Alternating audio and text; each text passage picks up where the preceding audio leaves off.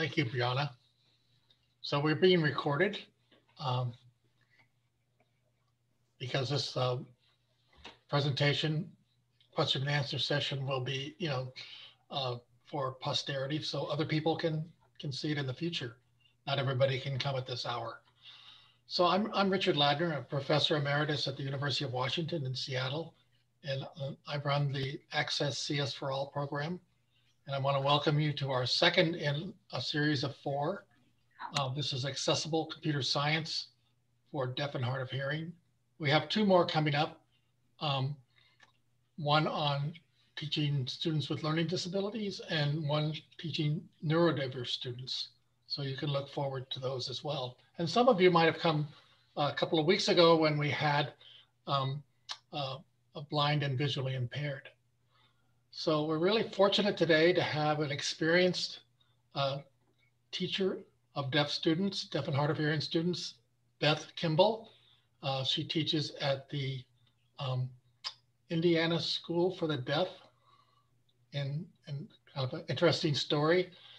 Uh, when my mother uh, graduated from Gallaudet University um, in around 1932 or so, no, 1936, uh, her first job was uh, um, at the teaching at the Indiana School for the Deaf. And then shortly thereafter, that, that year, my father wrote her a note. Uh, actually, there was a whole series of letters that they corresponded that he proposed to her. And they, it, she eventually, he came back and brought her back to California where they, where I grew up. Anyway, I don't want to prolong this. And Beth, uh, please go ahead.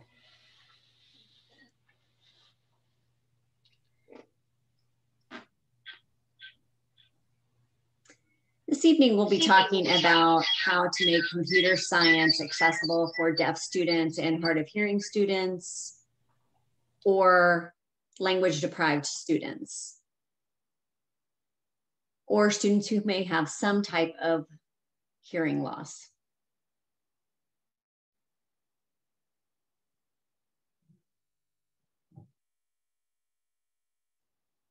I'd like to introduce myself first. My name is Beth Kimball, and this is my sign name. It's an R across my head.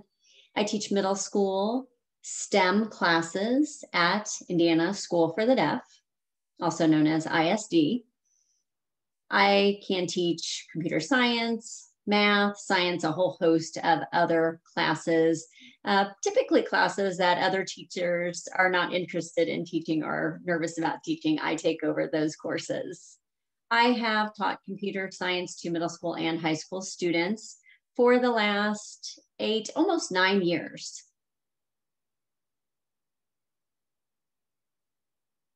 It said six, but prior to that, I had other experiences, so really close to nine years. My major was in biology and deaf education and outdoor experiential education and engineering. So I graduated two years ago with a PhD in environmental engineering. But now I have been enjoying teaching middle school. It's that awkward age level, and I'm going to continue doing that at this time. My passion is uh, being involved in my hobbies, such as reading, working on bicycles, and my two dogs. Got two very small dogs. I started computer science teaching really accidentally. I was teaching science and someone asked me about signing up for a workshop.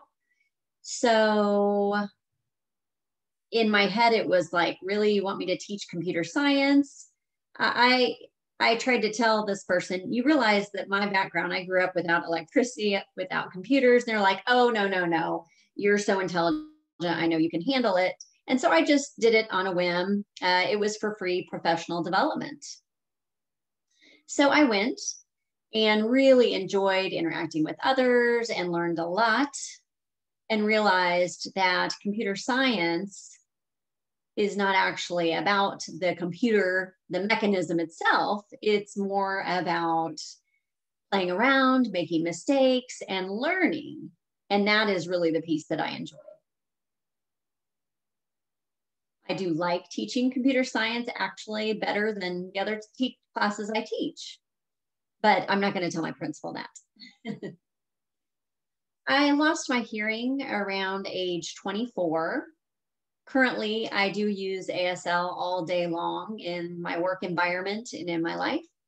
And I do also use English in other parts of my life as well. So I do use one or the other. However, I don't use simultaneous communication. I choose a language to use, whether it be sign language in the moment or English in the moment.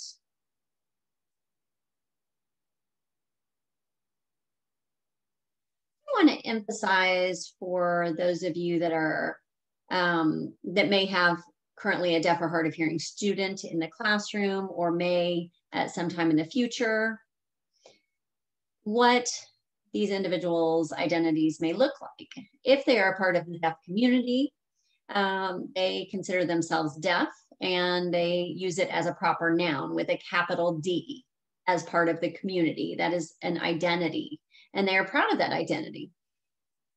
If um, the person has a hearing loss and they're viewing it from a medical perspective and just in terms of their loss of hearing and not regarding their use of the language of ASL, then it is a common noun with a lowercase d, deaf. And for your students, it will all depend on their background, where they come from, what their identity is, whether or not they use that as a proper noun or a common noun. Beth, this is Richard. I wanted to ask you, could you explain what ASL is? You mentioned ASL, that some people might not know what that is.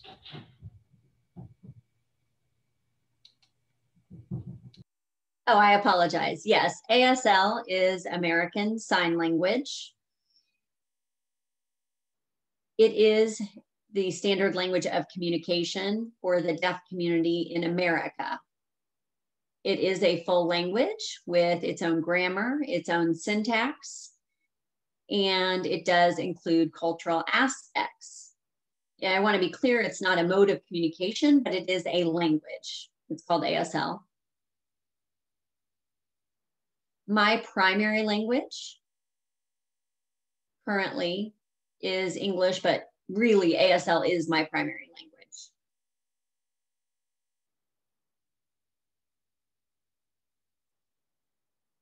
You may uh, have seen different causes of deafness. It can be biologically caused, medical, and there are different views. There are over 250 different causes of deafness. Some of those are congenital. It's in the DNA. It could be, it could be from Connexin 26, which is a particular chromosome defect that is uh, missing a particular gene. And that is very uh, common to be a cause of deafness. It could also be um, that could be the, uh, there could be other primary issues such as CHARGE syndrome. That comes with height issues, heart issues, physical defects, but it also does cause deafness. It could be a premature birth. Uh, if a baby is born sometime around 24 weeks, they often have a hearing loss of some sort. Or it could also be related to a maternal illness. The parent, the mother may have had a high fever before the child was born, or it could even be uh, they lose their hearing later in life due to an illness. As a child, as a teenager, an extremely high fever can cause hearing loss as well. Or it could be that an individual is born with some vision issues and later loses their hearing, which is typically related to having Usher syndrome. So there are a whole host of reasons that someone could be deaf.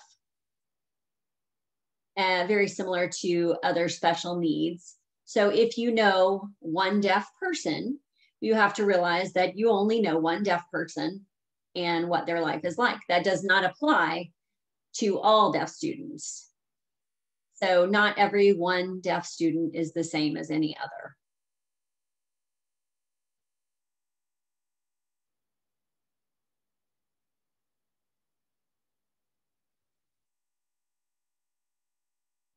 For our demographics, in America, we have about 76,000 deaf or deaf-blind students who receive services under IDEA, which is the Individuals with Disabilities Education Act.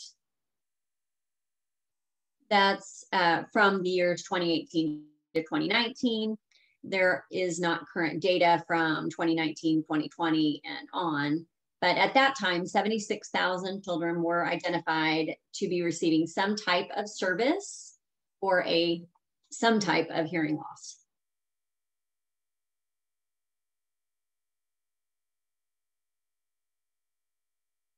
And this is those that have their primary disability as being deaf or deafblind.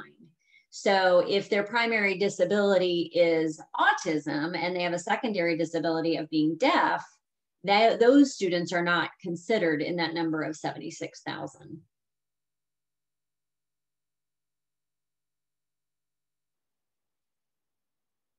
A huge percentage of our deaf and hard of hearing students are attending the public schools. They are mainstreamed. They do not come to a deaf school. 90% of our students are mainstreamed into the public school classroom.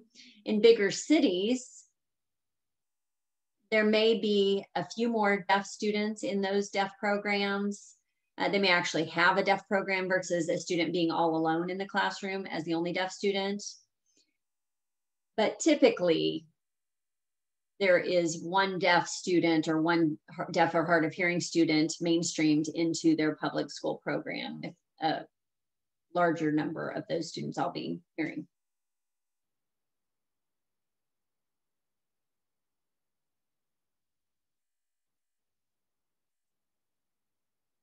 So if you have any questions about the percentages for other disabilities that are out there, there is a link that's been provided. You can see here on the slide, uh, but specifically deaf and hard of hearing students, it is 76,000, which is 90% of those students.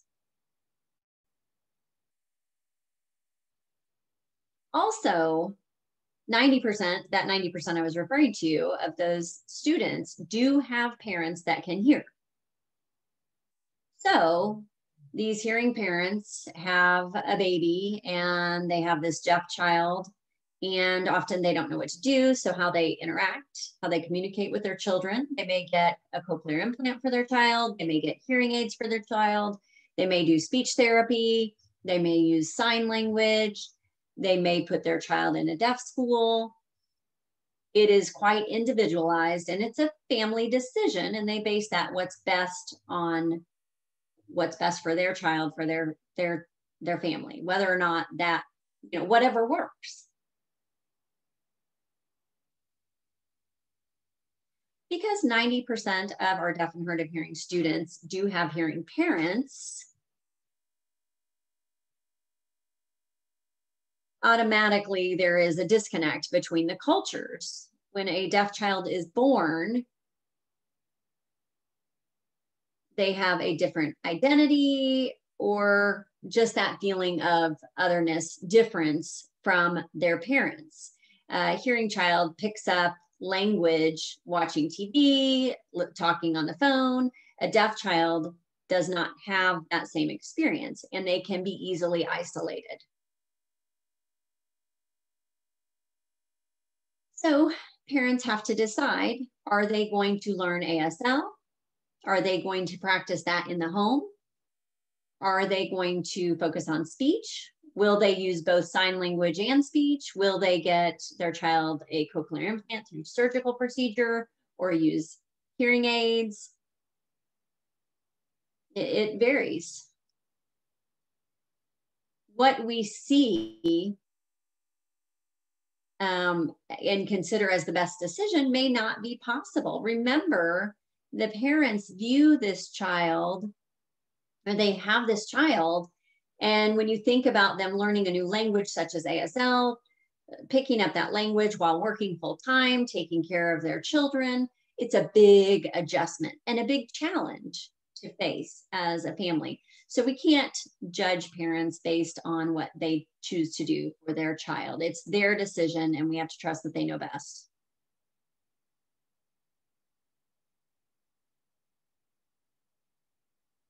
As I mentioned before, it's not unusual. It is not rare for there to be just one deaf child in the whole school completely alone. Potentially even kindergarten through 12th grade, there may only be one deaf child. And there may have never been a deaf child in that school until maybe up to 10th grade. Uh, that's just the way it goes. Or it may be that a child transfers in from another school or a family moves, and that may uh, it may even be that a child has a recent diagnosis. They haven't even been previously diagnosed. And it may seem as if they're getting by, it may seem that they can hear, and they may really start to struggle as the classwork gets more challenging. It is easy for children to fake it, especially in elementary school. They can get by trying to rely on as much as they can hear and following others and they can wing it.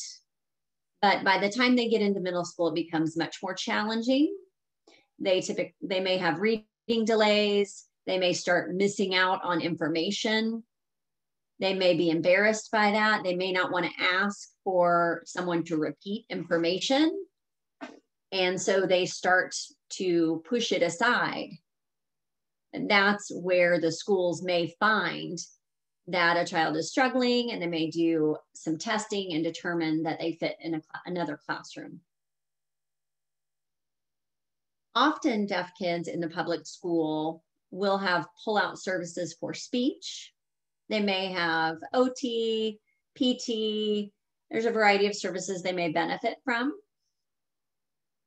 Uh, because deaf children need language access, they need to catch up and they need that additional practice they may have, uh, they may be a bit behind in the public schools, but some may not be behind. So it just varies from student to student, just individually based.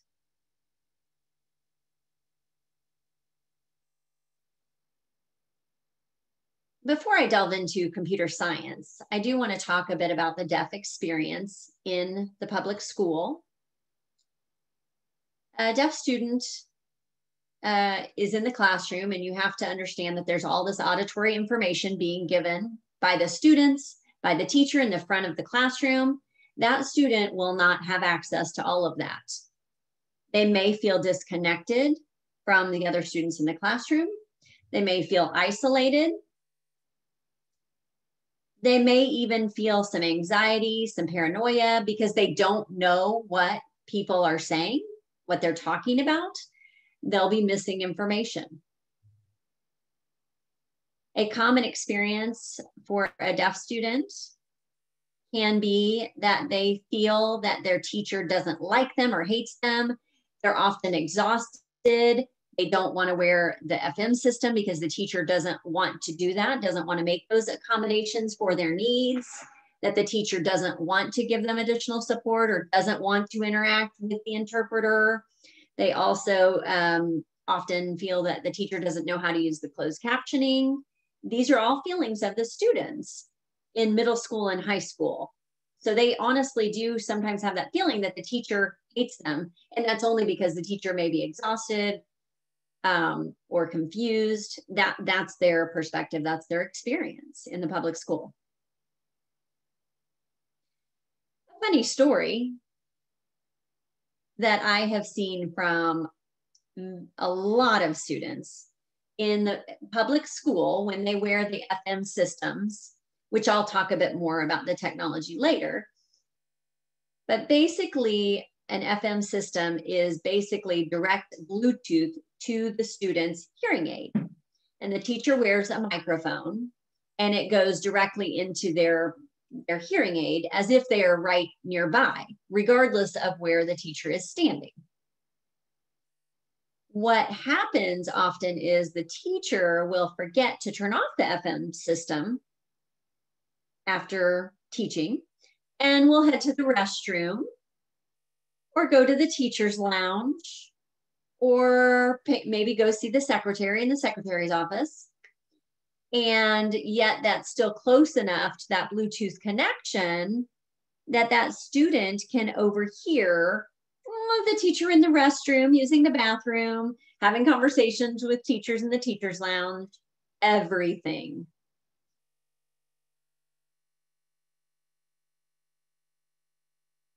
Often the kids do feel very connected or disconnected excuse me from the hearing world the world at large um, because they feel different and they feel they can't communicate or can't understand everything.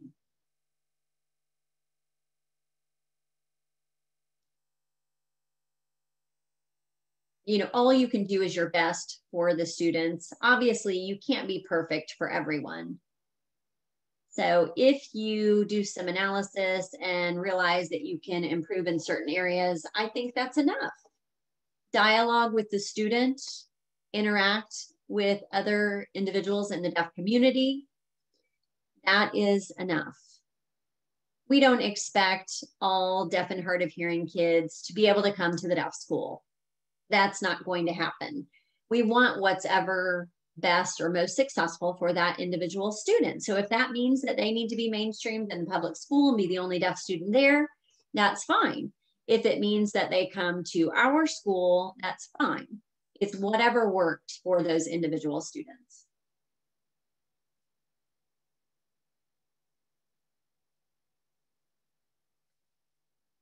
Educational options for deaf students, as I said before, they can be mainstreamed in the public school setting.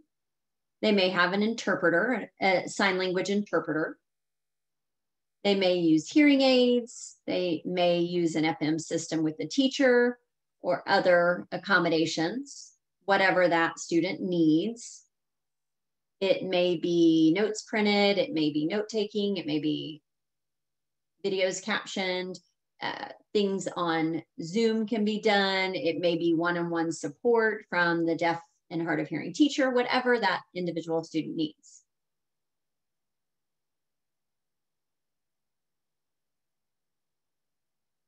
In more urban settings, in the public schools, there may be several deaf students in a program so that means that they may have the finances, the budget to have an actual deaf program at that school. They may have a teacher of the deaf uh, who teaches the deaf students. Could be a deaf or a hearing teacher, but they would be providing direct instruction using sign language. Or even using other types of communication modes. But it would be more direct instruction from the teacher to the deaf students, not a teacher and an interpreter and a deaf student. So in some cases, there may be a program where the teachers are able to directly instruct the students.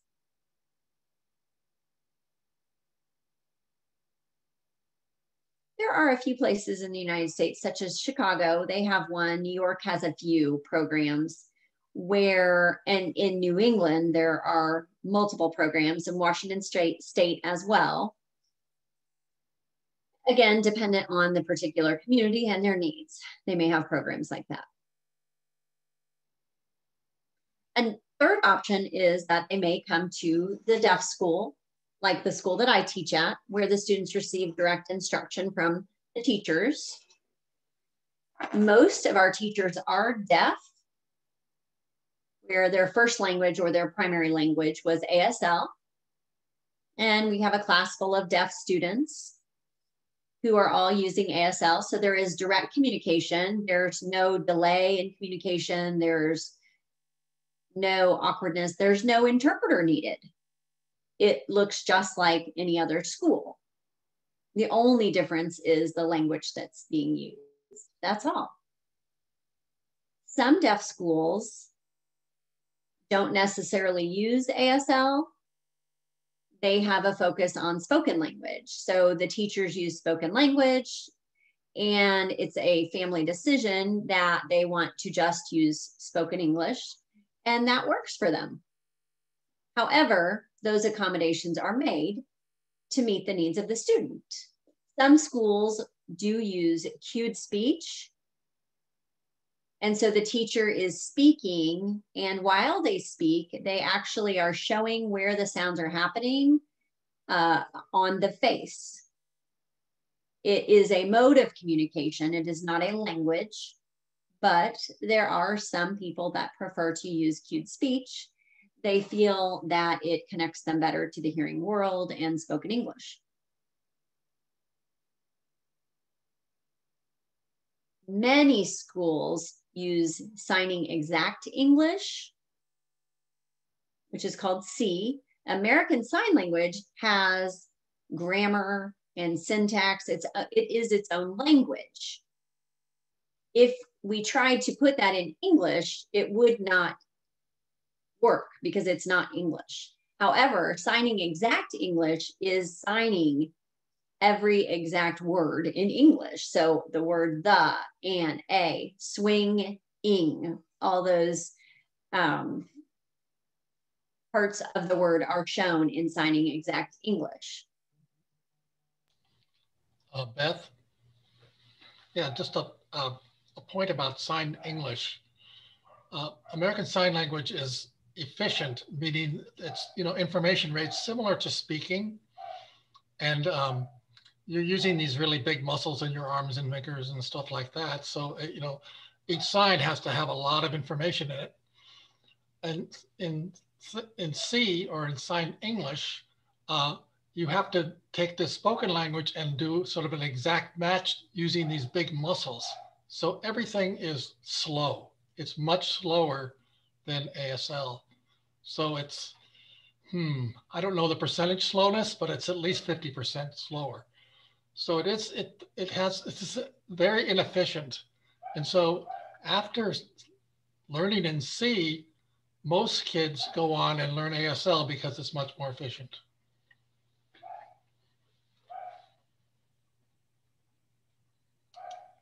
Yes, and it depends on where they are headed in their lives. If uh, where they live has that oppor- if they have that opportunity to learn ASL, absolutely they will. But if not, then some do stick with signing exact English. So it just depends on their life journey, honestly. But Richard, you are right. I do remember from grad school signing exact English or SEE, that's called a linear language. Uh, we call that a linear language. So everything is in order in a line. ASL, American Sign Language, is a vertical language. So you can sign and include the grammatical structures with facial grammars and body language, where one sign combines all of those aspects and has a multitude of meanings and can create an entire sentence. So, yes, ASL is more efficient, much quicker than spoken language if you know ASL, if you know how to sign. Are you ready to switch?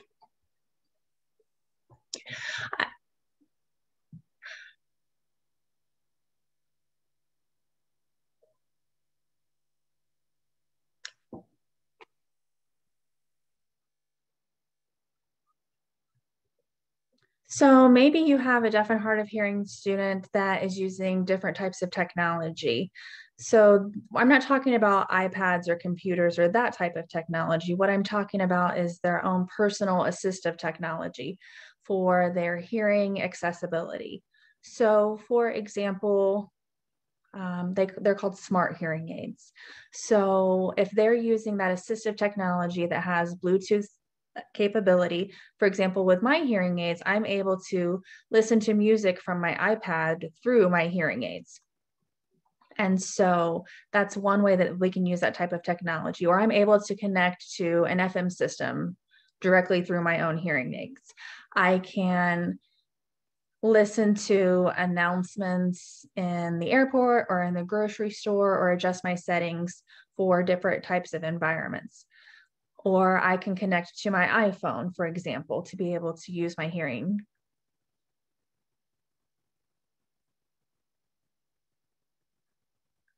For some deaf individuals that are more profoundly deaf, they might take advantage of the cochlear implant process, which is actually a surgical procedure that connects technology to the inner part of the ear and the cochlea, and it's connected directly to a device that allows them to be able to hear auditory, or it connects to their auditory nerve. So it basically bypasses their ear for that part of the ear that does not work and connects directly to that nerve to help them have that hearing function. One of the really nice things about that is I have an implant and I'm it doesn't mean that I'm able to hear everything exactly, but I can hear announcements in the store. I can hear someone walking behind me. I might be able to pick up environmental noise. Um, I might hear something that's happening in my environment that so that is one of the really nice things that I'm able to hear those noises. But one of the things that happens is that my brain has difficulty separating some of those environmental sounds and separating that from spoken language. So that can be a little bit overwhelming for individuals that do have a cochlear implant. So you have to think about your students. If they're trying to listen to the teacher, they're also trying to filter out some of those background information and some of the other noise that's in their environment that for hearing people who are who have grown up hearing all those noise noises they learn how to filter it out but it's a lot more difficult for our students and it can become exhausting throughout their school day or some students might use hearing aids with an FM system, like I mentioned before. So basically, that would be like a microphone that the teacher would wear during the class that would connect directly to the student's hearing aid or cochlear implant. And wherever the teacher walks anywhere in the classroom, then the student would be able to hear what the teacher is saying.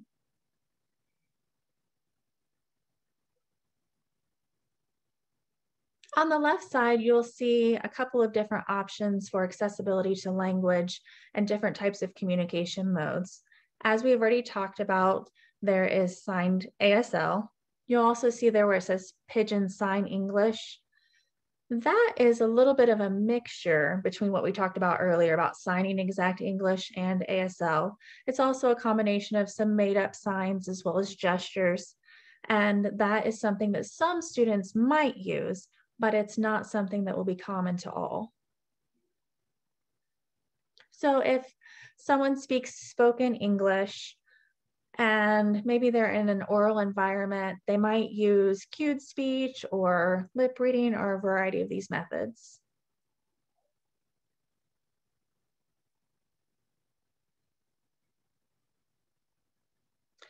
Typical requirements for a classroom setup um, prior to COVID were that there were um, a variety of accommodations that might be needed for a deaf and hard of hearing student.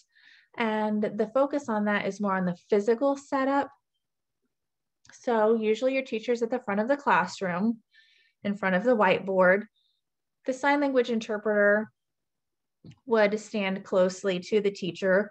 You also might have a captionist or a CART person, as well as an FM system.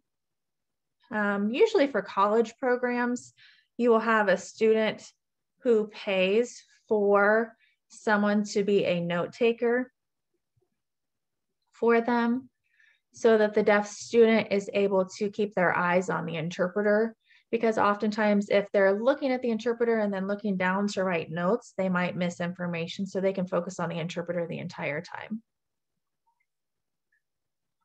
In the picture, this is from an actual university in Washington. And so a college level workshop, you can see the presenter there on the left in the front with this, the PowerPoint behind them. And then the interpreter who is signing being right there by the PowerPoint. And you'll see the student, uh, you'll see the bald man who is deaf and blind.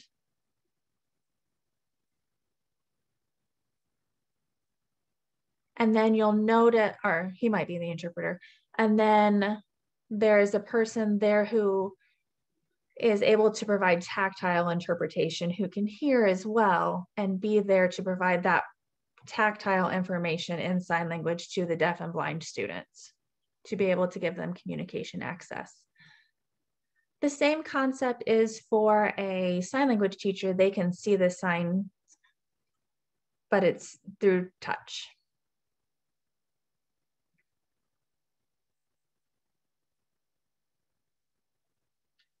And then you'll see right there in the red outline, the laptop for the CART, where they're able to see the captions and or note taker, which can be shared with that deaf-blind individual. All right, now, finally, we are at the computer science portion of the presentation. So computer science is a hot topic now for schools and in the classroom. And it's not a new field to the world. It's been recognized since it's it's been recognized for a very long time, from since the 1800s. Um, the woman who first came up with computer code was Ada Lovelace. So it's been around for some time, but more recently, schools have realized how important it is for kids to be able to use technology, to understand how to use computers well in the professional setting, and also to be able to use technology safely. And so this is the opportunity where we've kind of backpedaled to give them the training that they need. Now, when we talk about the language in English for computer science, it's still evolving. The, the language itself is developing, the different tags that are um, being picked up, all of that is relatively new in English and likewise in ASL. However, in ASL, the standardized signs are not as readily available as they might be in English because there are fewer people. So it's evolving, but evolving more slowly than the computer science language is in English because it's not as commonly used and not as many people are as familiar.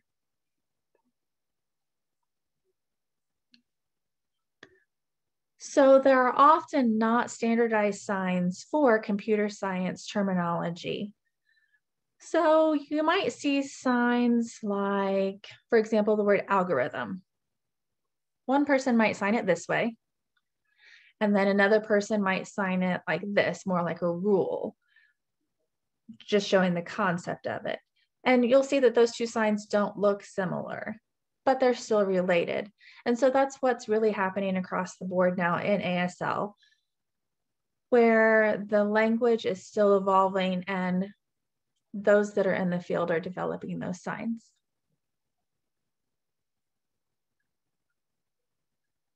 Keep in mind that interpreters and captions are not perfect. It's affected by their level of understanding as well as how well they are able to match up with the teacher's language.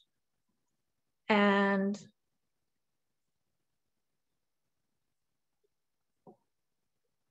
You'll see things on YouTube, for example, when you're watching, if you look at the automatic captions, they're just awful. And so it often depends on the technology. And someone who's speaking in English and then the captions do not match up, especially when you're talking about terminology, it's very difficult to follow.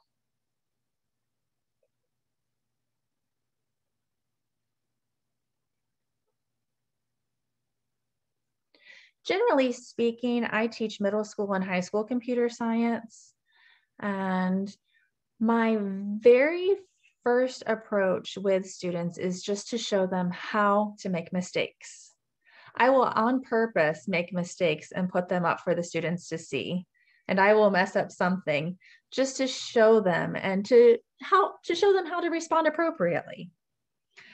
And then I I want them to see that it doesn't have to be upsetting the where you need to throw an iPad because you made a mistake, but mistakes are okay.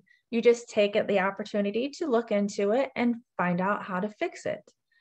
Other times, students will ask me questions and I may know the answer, but sometimes I don't. a lot of times I don't know the answer. And so I tell them that. I want them to see that it's okay to make mistakes. I want them to know that it's okay to ask for help and to find out ways to fix it. I never touch their code. I never use their device. I let them know that it's okay to make mistakes because when they make mistakes, they're able to learn. And I walk them through how to find a solution. But I would never give them the answer because I think that that's a skill that's important for them as they develop and they go along their own journeys to figure out how to find the answers and how to make mistakes and to learn from them to teach them how to develop the skills to be able to improve and to analyze and to learn and to develop time management skills. I know in the past I've made mistakes, and then it takes three hours to go back and to fix one semicolon. But then I know that the next time I come across that, I won't make that same mistake. Going back to the example of YouTube, or the website W3 for schools. Looking at those different types of resources and the tags there will help them. If I don't know the answer, I teach them how to find the answer on YouTube or W3, how to search for the information that they need to help themselves. Using keywords, using the internet, I think that that's a really good way to help them to learn how to find the information. I can't emphasize enough how important it is to present them with small challenges. Not to just jump right into a three week long project, but to make baby steps and start with those smaller projects or divide bigger projects up into smaller segments. That way they can catch those mistakes earlier and fix those mistakes piece by piece. And then when they take each segment, they're going to end up with a better end product and it's going to decrease their frustration and give them some pride in their work.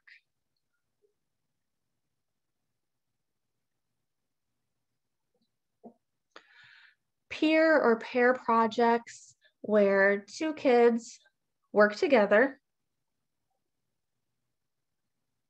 where you have one person that is the driver, and then you have, they are the only one who's actually touching the computer, actually inputting the code, working in the program. And then the other person that is part of that pair is the navigator they give them directions only. They don't actually touch the computer. Now, with deaf kids, having them pair, uh, having a deaf kid and a hearing kid, that can present challenges as far as communication and how they can learn to work together. You might see them looking at each other, making faces, not knowing how to do it. That gives them an opportunity to either work it out it lets one person actually open up the program and look at the code. And then the other person might be able to open up a Word document on another computer or their notepad and to actually type in English what those instructions are. Then the driver can look over and see what the navigator is typing out. You can give them 15 to 20 minutes and then have them switch roles. Or you can open up separate tabs on the computer and then they can swap over so that they switch roles. and one the other one gets to become the driver and the other the navigator. That way they get that opportunity to learn communication skills and learn how to help their partner to understand better. And it also helps them with their coding at the same time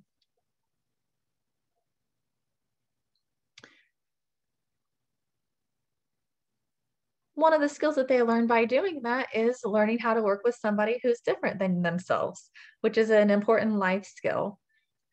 So if you have a hearing student and a deaf student working together, that gives them the opportunity to see the potential of that other student. The deaf student might be brilliant, and it gives that hearing student the opportunity to see and to learn from that. Now, when you have a kid that says, I want to work with a deaf kid, I want to work with a deaf kid, I wouldn't choose that student. I would choose someone else who would be able to get that opportunity to. I don't want someone to say, This is my deaf friend and be seeking attention. So I suggest pairing a deaf student maybe with another more quiet student in your class or another student who maybe has some little meltdowns or someone who is not as motivated academically. It gives them an opportunity to learn from one another.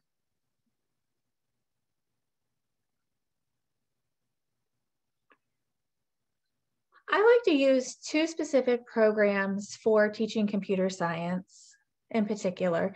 The first one is called code.org, and it's a free program. It's a free website for teachers where you can register, you can set up an account, and you can register your students um, in your classroom where they're able to work through that site at um, advancing levels.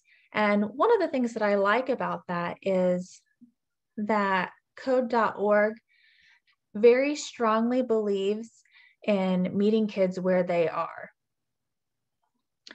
Even if you have a high school student that can create an entire website from scratch, or if you have a student who has never had any experience with computer science, code.org believes that any child can do coding. And so they meet the child where they are at, at their current level.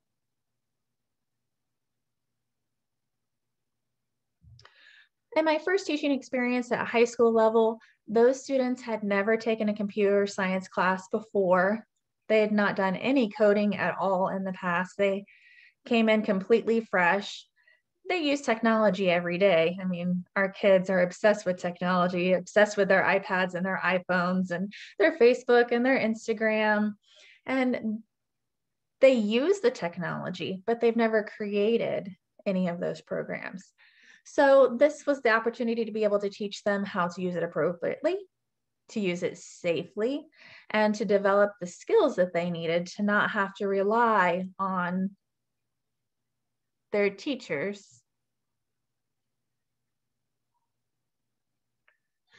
So code.org was really nice because it met them at their level. They start out with computer science principles. And that was really quite advanced for a high school level. It didn't match the students that I was working with. And so I bumped it down to a middle school level for that particular class. And the students didn't know that. Nothing on their computer screen said this is sixth grade material. So they were, they didn't know. They were just picking up coding. They were using HTML. They were working on their website, none the wiser.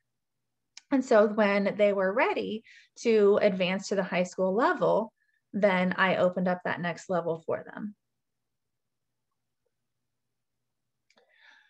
For middle school, for those that are not ready for the middle school level, there's also an elementary level.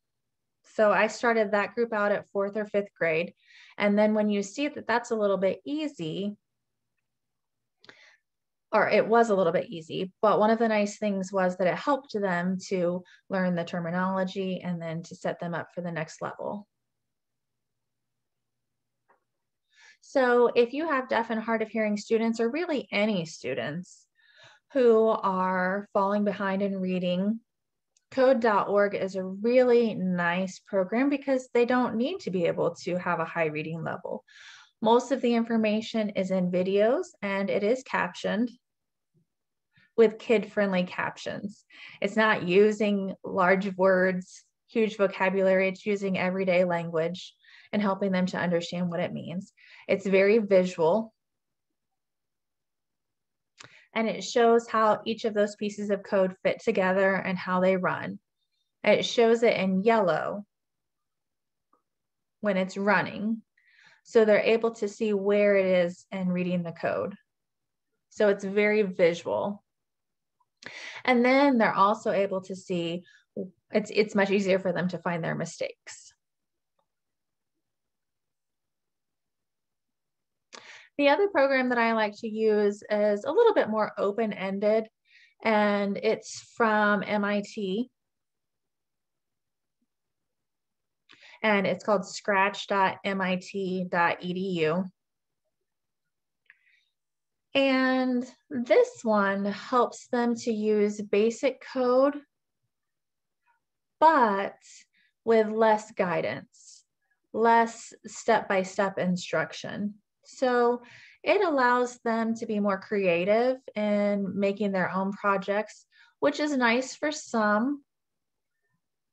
For those who are motivated and who are willing to explore and to play around and to make mistakes, some kids, though, are not very comfortable with that type of approach and they prefer to use code.org because they feel like it's too much information and they don't know quite what to do with it. Whereas the code.org is more a step by step, more guided instruction. And when you finish a particular level, you move on to the next level.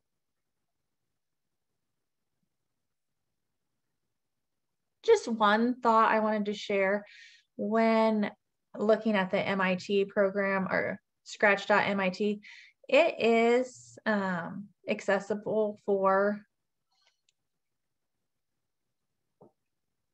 it will be more accessible for deaf and hard of hearing students.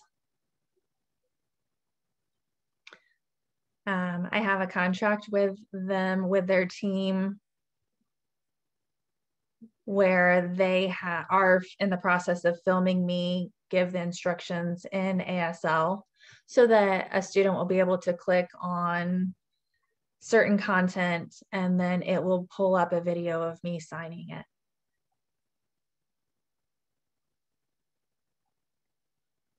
I'm not sure when that will be released, but it's a work in progress and it will be coming soon sometime, at least before I retire. I don't know when though. so sometime within the next 40 years.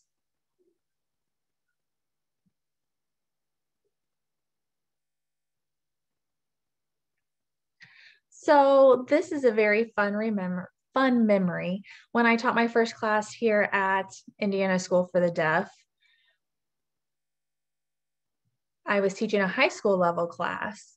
But with that particular group of students, they did not have any or very little um, content level understanding. And so, like I said, I opened up the class at a middle school level on coding.org, and they were able to pick that up. And by the end of the semester, so halfway through that school year, they were ready to go ahead and um, that group of students went to the governor's office and shared the project that they were able to make. So that was a really cool experience that um, I was able to see that. So I haven't failed yet. Another class that I had was a middle school group of students who were at grade level for reading and writing and math and didn't have any issues at all. So that was a pretty easy class to work through um, on coding.org. They made great progress. We had a lot of fun. They were able to create a lot of their own projects. And I have to say, though, that one of my best classes ever was actually a live at the middle school level. Now, this group of kids, some of them aren't even able to walk to the cafeteria on their own. Um, some are not able to go to the restroom on their own. This is a group of students that will not be going to college. They're working on independent living skills. And some of them will probably go on to live in group homes or continue to live with their parents. So this was the, the educational level of the students that I was working with. And so I was asked to teach a computer science class to this group of students. And I asked about my administrator said, okay, well, I guess it can't hurt. so I said, why not? I felt like they would be able to benefit. The it's still good experience for them. They can learn problem solving, they can learn how to identify mistakes, to identify shapes, to learn patience, to learn how to respond to frustration better, to not totally lose it if they make a mistake or become frustrated. So when I asked to do this, my administrators went ahead and approved it. And I was amazed that they could do everything. The terminology wasn't as important. They were able to still understand the concepts though, because they were able to do it hands on. They actually had the skills to watch the videos and to do it on their own. One of the students was deaf and blind and in a wheelchair. And she did much better than I expected. She actually did much better than her aide or her parents expected. And she was able to use different tools um, or toys from preschool with lights um, to look at the programming for those toys and to navigate based on feeling based on the limited vision that she did have. Um, and she did much better than anyone expected her to. Interestingly, her behavior improved, her frustration at school improved. She didn't cry or scream or anything. She did so much better. I think it was because she had some pride in herself and the work she was doing. Now, with computer science, if you're just beginning to teach, or if it's a new program that's being adopted into your school's curriculum, it can be a huge undertaking. There can be a large gap between the levels of students. You're going to have students who come in with no technology at home. Um, you might have someone from a poorer family, or maybe it doesn't match with their religious beliefs or they have limited accessibility uh, because of where they live. So, for various reasons, you might have students that have little technology, and then you might have other students that spend their summer coding.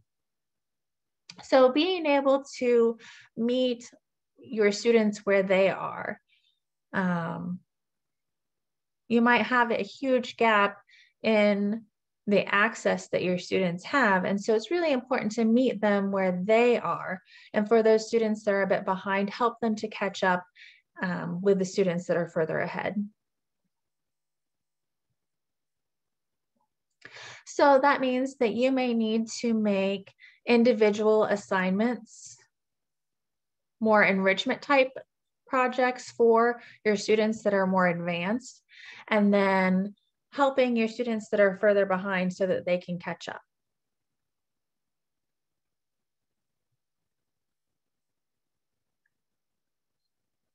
I can't emphasize enough how important it is for us to not assume that just because our students use technology that they understand what it means and how to use it appropriately and safely especially when we think about deaf and hard of hearing students and special needs students.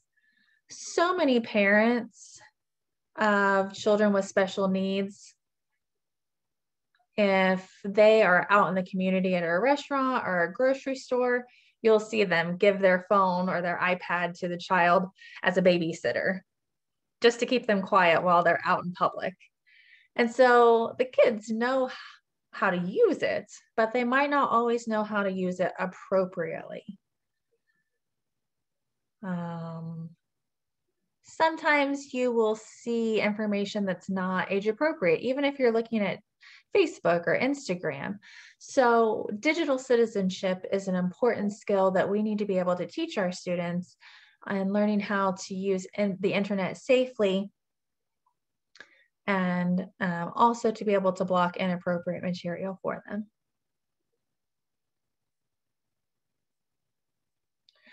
Our kids now in middle school and high school, they're pretty much online 24 7. And especially now, everyone's using Zoom. They take they turn it off after class and then they grab their phone and they're texting somebody and then they put that down and then they're watching YouTube videos while they're laying in bed. And there's something going day and night for most of our students. Sometimes they're not always using it appropriately. Also, it's important to know that anything that they post on the internet stays there forever. It's a digital footprint. So we want to help them to understand that even if you delete it and someone can't see it, it doesn't mean that no one can see it.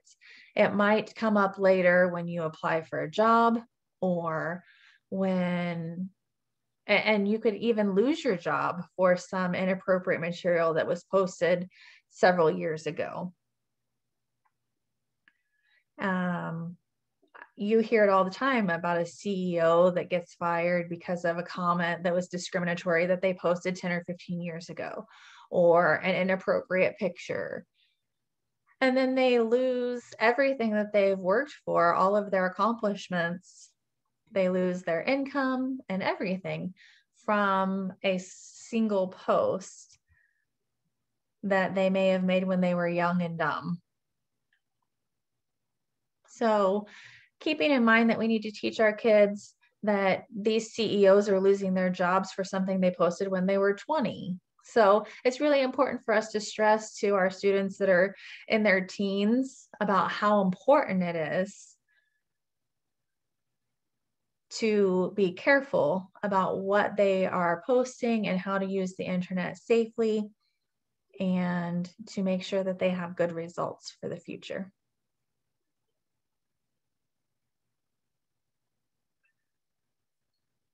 So now I like to show this. I call it um, the state of the states. So our current level.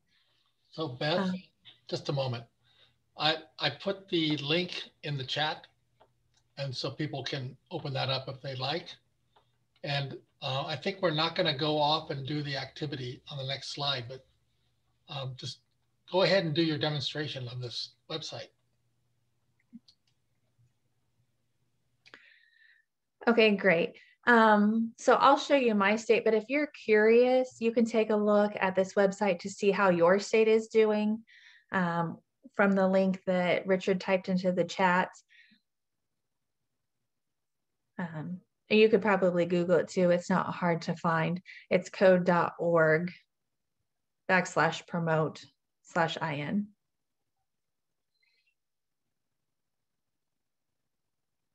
So it will show you what each state is doing for computer science standards, as well as requirements in education, what's offered as far as computer science in each state and what percentage of students are using computer science as part of their IEP or their individualized education plan.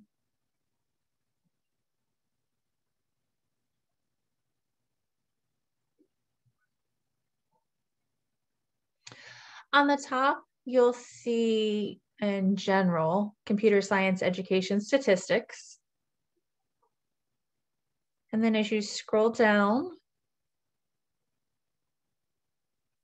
you'll see a map. And then you can choose whichever states. So I chose Indiana because that's where I'm from. So you can see that there are over 4,000 open jobs in the computer science field. That's a lot of jobs for today's economy.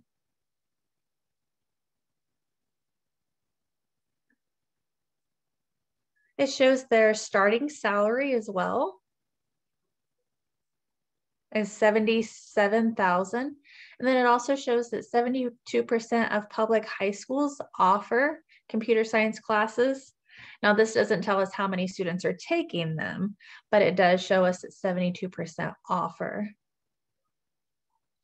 And then the next number it shows um, graduates in computer science, 2,347.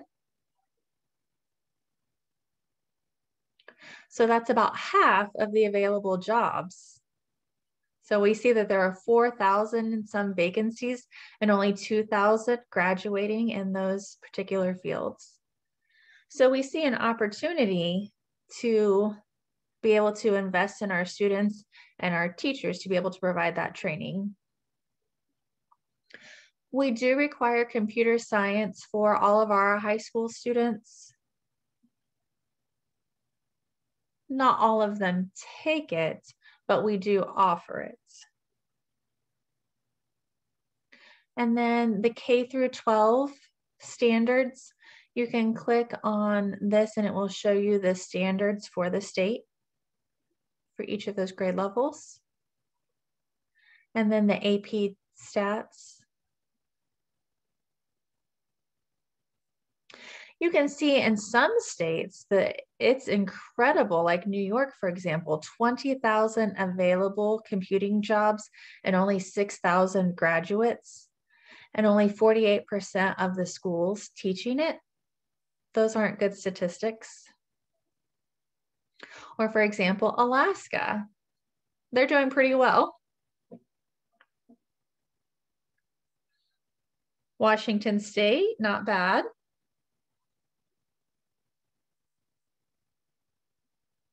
So as you can see, some states do better than others.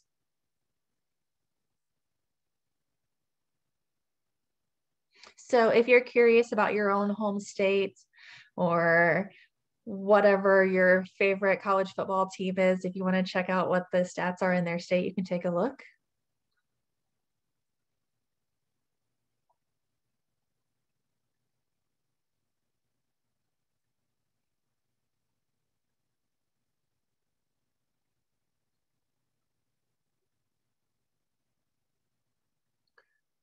So it's really important to take a look at the situation as a whole, to look at all of your students.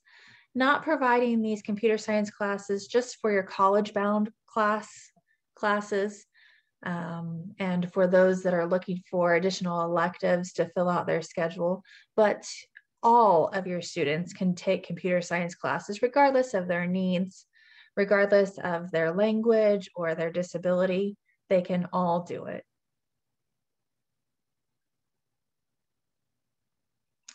We'll skip the activity. I just want to emphasize how you can help your deaf and hard of hearing students. Be sure to read their IEP.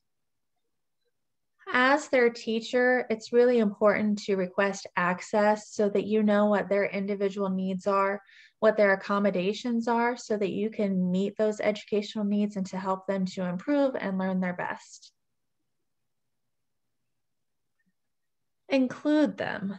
Inclusion is so important. One thing that I've noticed in public school settings is let's say you have a deaf student in a math class and a social studies and English they get pulled out for elective classes or for example foreign language that they get pulled out for computer science. If you see that happening in your school please step in. Make sure you're providing the support that those students need. Another thing that you can do is if you have a presentation, Google Slides will provide auto captions. So if you turn your mic on on the computer, it will turn captions and they're not too bad. They're not perfect.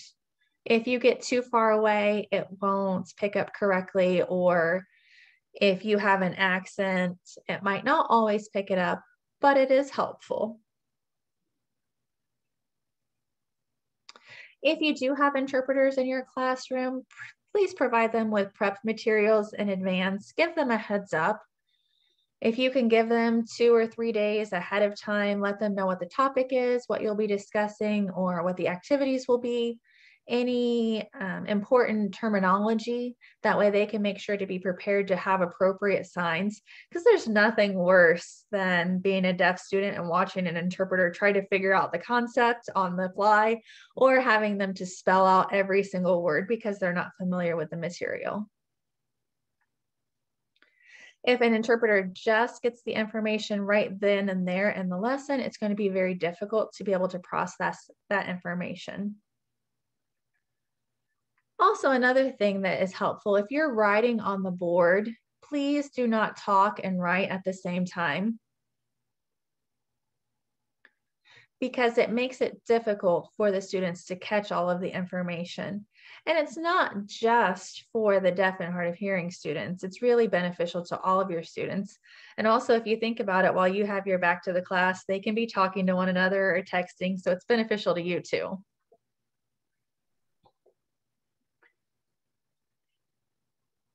if you think about when you turn around and look at the board and you're writing notes, the hearing students are able to look away and still have access. However, the deaf students are not. And you want to make sure that you're providing equal access to all of your students. Ready to switch.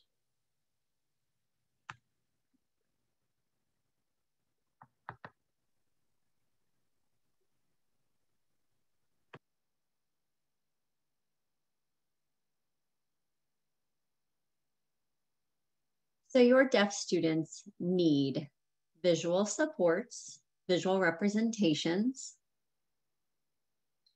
In English, one word can have a whole host of different signs that can be used. And likewise, in ASL, a sign can go to a variety of English words. So it's important to provide visuals to help the students connect that word with the word that should be used. And it helps the interpreter choose the correct sign as well.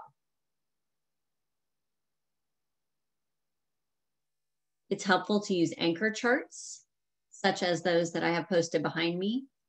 That's beneficial to all students. They can get the information on the presentation they can look down at their notes, they can look back up and still refer and stay right on track with the information.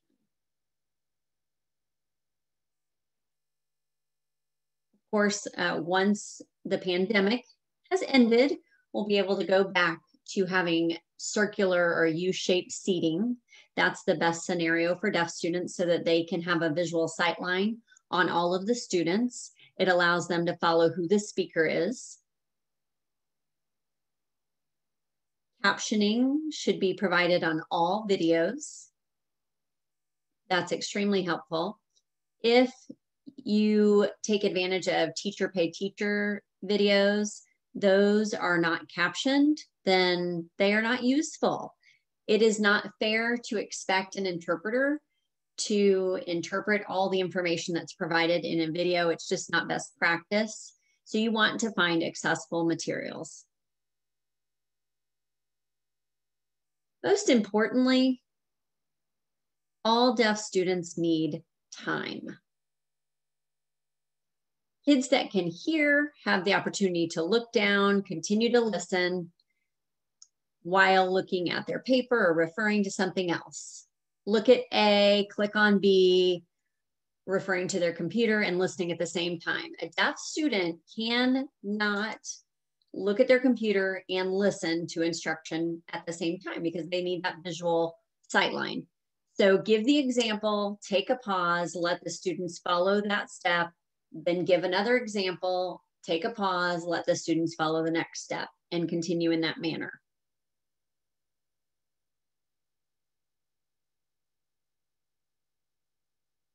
And that allows you as the teacher to catch their mistakes as well. Often when we just plow ahead, even the other students will make mistakes and they're glad if you keep plowing forward because you won't see that. But those pauses allow time to catch those mistakes as well. As we wrap up, um, Richard? Yeah, thank you, Beth. That was fantastic. Um, and uh, there's so many things to learn uh, about dealing with deaf kids, especially in the mainstream when they're they're isolated. Uh, if people have questions, can you just put them into the chat? And and Brianna is sort of uh, monitoring that. Um, uh, one thing uh, that Beth was talking about earlier was looking at your state and how your state is doing in terms of computer science. And and so I put in a, there's an organization here called the Code.org Advocacy Coalition and, and Access CS for All is, is part of that coalition. And so that's a good place to sort of monitor and see how not just your state is doing, but how the nation is doing. And if you really want to get engaged, you can uh, uh, find out who in your state is, is part of this uh, uh advocacy coalition. So, so Beth, um, so people are starting to put comments in.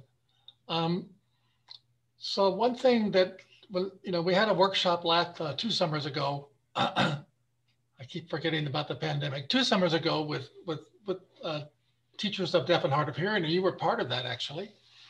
And one thing I, uh, when we wrote a paper about that afterwards, we learned that there are people that kind of I, make a similarity or compare or see the similarities between English language learners and deaf students. So I wonder if you have some comments on, on comparing those two groups. What are the similarities and, and perhaps what are the differences?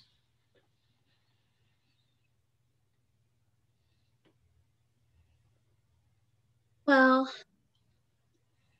they are similar in that they're both beginning. If you have a deaf student that's new to coding and a new English student, I would say they are similar enough. However, the difference between ESL students is that they will oftentimes catch up, and a deaf student is never going to become hearing and never learn English perfectly. So it's not a perfect comparison. However, they are learning English as um, their second language. So it English is uh, for an ESL student, their second, third, or fourth language potentially. And they can acquire that. For, but a deaf student may never be completely fluent in English. Right. Yeah, that's sort of what, what we read as well in, in the, the literature that we read about that. The comparison is somewhat uh, of the same, but there are these big differences.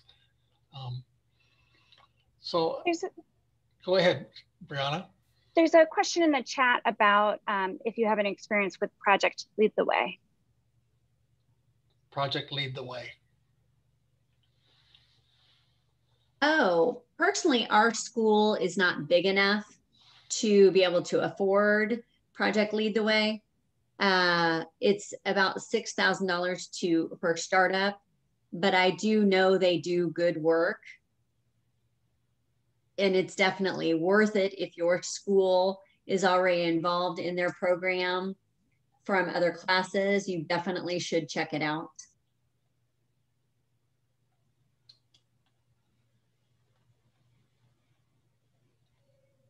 As for accessible materials through that, they are trying, let's just put it that way.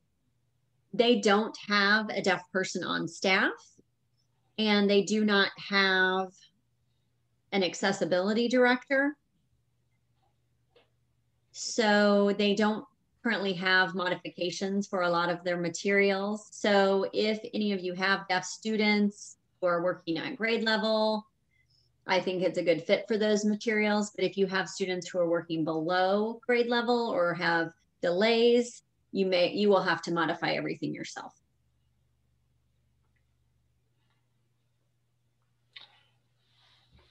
So Beth, one, one thing I've learned sort of in, in the last few years is that most special ed programs that I'm aware of in the nation really don't seem to teach much about um, teaching deaf kids. So where where do you know special ed doesn't do much? Where did you learn, and and how did where do other teachers like yourself learn uh, to teach deaf kids? It wasn't special ed programs.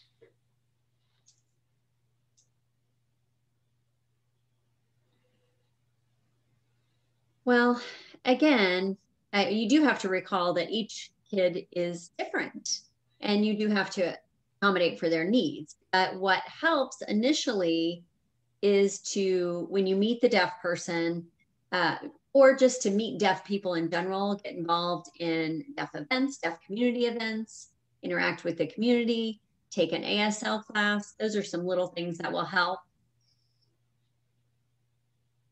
Uh, deaf adults are kids that grew up in these programs. And so they have these experiences. I grew up hearing and became deafened later in life. So I was interested in, in becoming a teacher, but long before I was deaf. Once I became I was deaf, I did go to Rochester Institute of Technology, RIT, and I took a deaf education master's program there. And there are a few of those programs out there that specialize in deaf education. But special ed is taught in all schools and it may include a piece of deaf education, but having that true deaf education approach includes the language and the culture, which is quite a bit different. Right. Yeah. So that there are these uh, special ed programs that specialize in deaf education. And I, I know there's one in Oregon. Washington State does not have one. Um, so they're not in every state.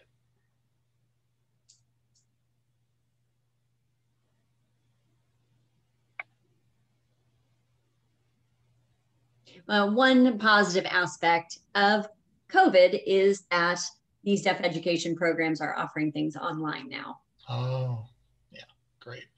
Can someone who um, is teaching, what were some, what would be some resources? A mainstream teacher has one deaf kid in their class. Are there some places where they could get resources where they could understand best how to serve that kid, uh, along with the, all, all the other kids as well?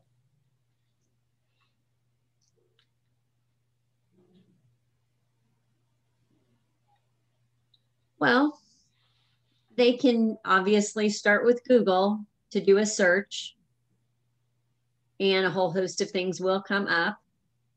Uh, filtering uh, through teacher teachers pay teachers you can click on special needs there are facebook groups and instagram groups out there hmm. uh, searching through the hashtag deaf education you'll find a whole host of resources there pictures, stories, YouTube videos. There are fantastic resources wow. out there. Mm. And then also looking at the local deaf club or ASL classes, they usually will have access to some resources and some tips on places to find information. And I know they're often happy to help because if you remember, deaf adults have experienced this as children and oftentimes have been traumatized or have a lot of bad memories of how their educational experience went. So they're more than glad to help and provide resources that will help other deaf children in their education. Yeah, that, that's a great idea is to involve deaf adults, you know, learn from deaf adults because they've had the experience as children and they know what might work better. So getting connected with a deaf adult is not always easy. I see somebody dropped in the chat a link to ASL Core as a helpful oh. resource for um, CS signs. Are there any other resources, Beth, that you recommend folks check out to learn signs that are used in computer science? ASL Core is actually one of the best. Mhm. There's that one. And then RIT slash NTID, which is National Technical Institute for the Deaf, is one of their colleges. And they do have a STEM dictionary as well. And you can look there on their website for different signs related to computer science and sciences in general. Uh, again, however, these signs are oftentimes new. They're not standardized yet. So they don't always fit the concept. It may be that they were, uh, it's a particular sign that was created by one student who took a particular class, but it's absolutely a good place to start. I put in the chat the ASL STEM forum, which actually uh, I helped develop a few years ago. And this one includes a lot of signs, I would say at the more higher level. Um, if you look at the RIT site or some of the other sites, um, they're more, I'd say at the elementary level. So, um, and this one is, you know, uh, user, actual users of sign language have uh, contributed to the SL STEM forum.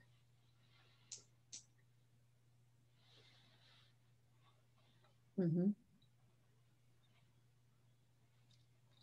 Well, great. I, I, we're just about at our time, Richard. Yeah, I noticed that. So why don't we say uh, thank you, uh, Beth, so much.